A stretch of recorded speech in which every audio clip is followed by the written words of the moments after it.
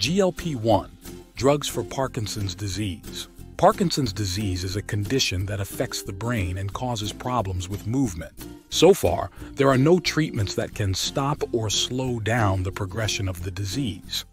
Current treatments only help with the symptoms. A recent study published in the New England Journal of Medicine examined a drug called lixisenatide, a type of GLP-1 drug. This drug was tested on 156 people with early Parkinson's disease. They were given either the drug or a placebo, a dummy drug, for 12 months. The main question the researchers asked was whether the drug could improve the participants' motor symptoms, which are problems with movement.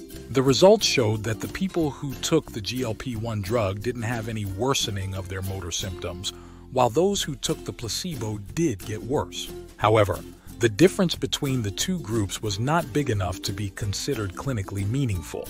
This isn't the first study to suggest that GLP-1 drugs might be helpful for Parkinson's disease.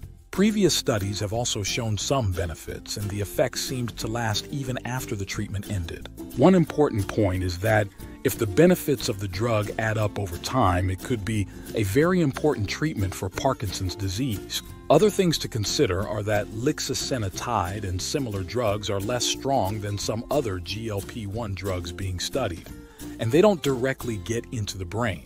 However, they might still work by reducing inflammation in the brain through other pathways. Overall, this study gives some hope that GLP-1 drugs could be a useful treatment for Parkinson's disease in the future.